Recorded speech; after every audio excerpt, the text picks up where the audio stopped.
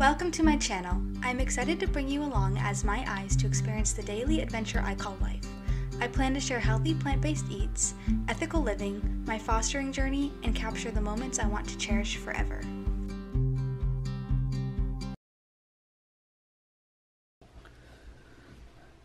Time to get up.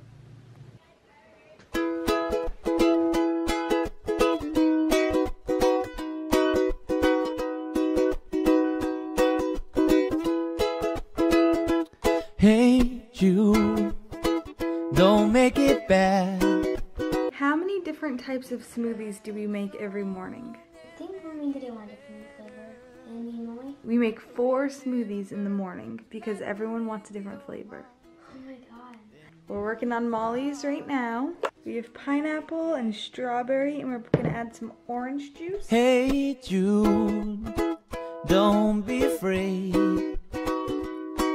You were made to go out and get her. And the minute that you let her under your skin, then you'll begin to make it better. And anytime you There's a local health store nearby, and we want to go get some treats. Don't carry the world up on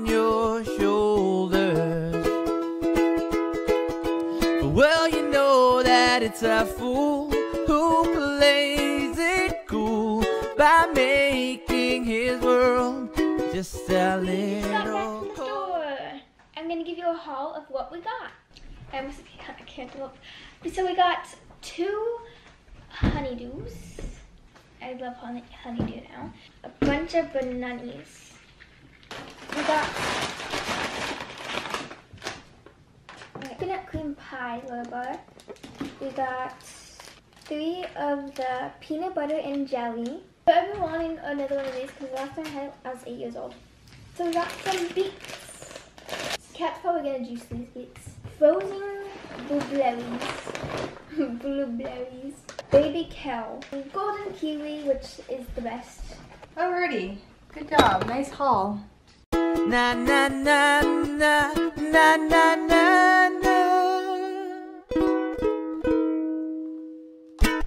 Hey Jude, don't let me down.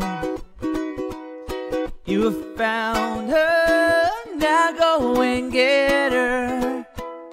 Remember to let her into your heart, then you can start to make it better.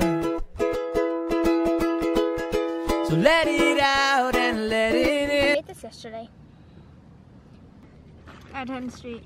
I found him there. It's a caterpillar. I named him Bumble because he died on the street and he was yellow and black. I just finished my first comic, Captain Underpants. It's not so long because it's the first book and it's going to be a series. Captain Underpants. Meet George and Harold. George is the one on the left with the brown hair. Harold is the one on the right with the bad haircut.